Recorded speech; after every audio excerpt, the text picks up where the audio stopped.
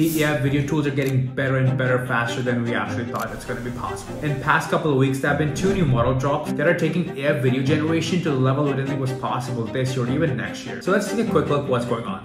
First, we have Pika 1.5 from Pika. So Pika just announced a new model, which they're calling in 1.5. And the coolest part about this model is the thing called Pikaffects. So all it does is that if you have an image or you have a prompt and you turn like a prompt into an image or whatnot, you can add all these cool effects to it in just a second. There's six effects you can add and it will turn that image into like a three, four second clip with that effect. There's an effect called inflated, which is just gonna inflate that object in the image. It's just gonna rise up. There's a melted, so it's just gonna like, you know, have the melting effect. There's an explosion effect. There's a squishy effect, so you have your selfie being squished. There's a crush effect, so you know, we can turn literally anything into that oddly satisfying video of like things being crushed it's probably not going to be as satisfying because it's yeah, It's not going to like, you know, do it all that squishy thing. And there's Cakeify. Remember in COVID where like those videos were getting viral, like you have a dog looking cake and you can just cut it and it's a cake. Now you can do it with literally anything. Okay, so let's see if these effects are only demo, just like, you know, some of the tools that do, or they actually work right now. So we're just gonna go here into Pika, just sign up with a free account. And now we're gonna upload an image. I'm just gonna upload my image or I can pick one of the random ones, just AI generated. So, and I'm gonna pick an effect. So here I just have an image with, you know, just like a, a coffee mug, a wallet and some keys and I'm gonna use the melted effect. This is what we get. And here I have my own selfie. I'm gonna do like a, like the squishy effect. And this is the effect I'm getting on my photo, which is being turned into like a, you know, like a short three, four second video in terms of what these videos are useful for, I mean, they will make a really good hooks for short form video for one. Um, two, I mean, you know, if you're a creative person and you want to like use them in some way, you know, go all nuts. But it's just an example of where things are headed. You know, things look pretty good, pretty clean, pretty real.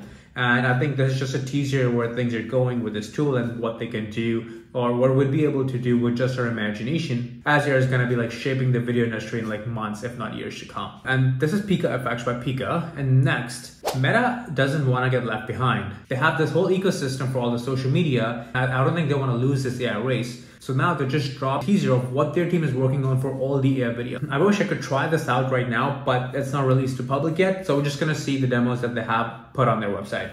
So as simple as that, you can turn a text into a video. Uh, so we have a few examples here. A sloth with pink sunglasses lays on a donut float in a pool. Sloth is holding a tropical drink. The world is tropical. The sunlight casts a shadow. The video results look pretty good. We have an example here of like a camera is behind the man. The man is shirtless, wearing a green cloth around his waist. Uh, his barefoot with the fiery object in each hand, he creates a white circular motion that comes in the background. The atmosphere is mesmerizing with the fire dance. Uh, again, uh, looks pretty cool. But I mean, you know, there's a whole bunch of tools you can do, text to video, what's new here. So another thing, uh, what they mentioned the tool is going to be able to do is to take an input video and then add a prompt that is going to change the video into like that based on the prompt. Here, for example, we have an original video of a man running. You can add the input that turn it into a cactus desert. And now we have a man running in the desert. Uh, I like this one cut a lot where like a man is just sort of warming up, but now you say like change the background to an outdoor stadium and now it looks like he's an athlete. I mean, he still looks like an athlete, but now it's like, you know, it's a competition or some kind. Now like there's a fire, and there's like sparkle effects, the fire sparkle effects to his hands, there's like northern lights and stuff. You can change like, you know, the dog is wearing like a onesie. There's a poodle with like goes blue in color. And this one looks so good. Uh, we have original video of just a couple eating popcorn and movie. Now there's raining in one scene and one scene like they are wearing 3D glasses, which kind of looks futuristic. You could be excited about it. You could be scared about it. I think everybody has their own opinions, but these tools, uh, they're getting pretty good. Other examples I've shown here is that, uh, you know, you have a woman here, which is just like, you know, like you upload a photo of your selfie or whatnot, and you have a prompt, like, you know, based on your prompt, it's gonna add your face into the video. For example, here, a woman paints a canvas in a wooden paneled room. The woman is wearing a white shirt. Uh, she has calm expression as she concentrates on her work.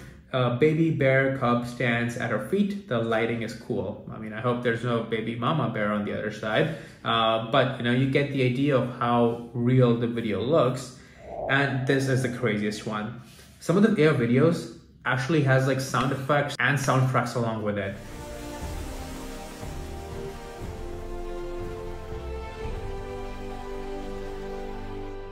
One of the biggest things that's kind of put out for AI videos is like the voiceover, the sounds seems very unnatural. Even the video are videos are getting pretty good, but they have shown here some examples where you know the sound with the video is also really good. It just seems like a very natural scene.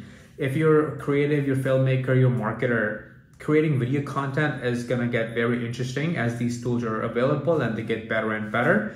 But this is what we have right now. It's it's a shame we can't try this one just yet. I hope it's more than just the promises. I hope when you get access to this tool, the results are also as real as it seems on their website here.